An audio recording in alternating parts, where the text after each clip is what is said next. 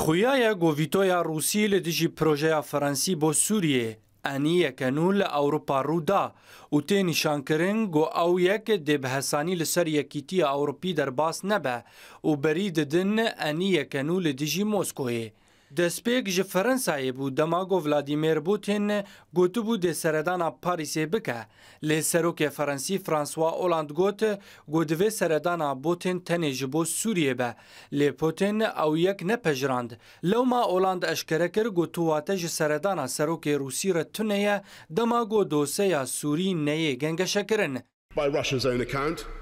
Piştî Ferensayê êdî Berîtanyayê jî tevî eniya Ewropî li dijî Rûsya bû.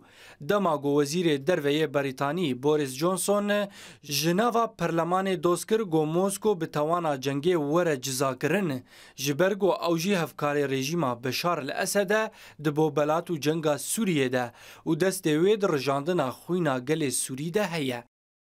Johnson amaje kir ku Rûsya bi destêwerdana xwe li Sûriyê dê bibe dewletek dûrî yasayî yê. Herwiha Johnson di dawiyê de bi gef got, Divê Rûsya were cizakirin û rastî dadgehên navdewletî were.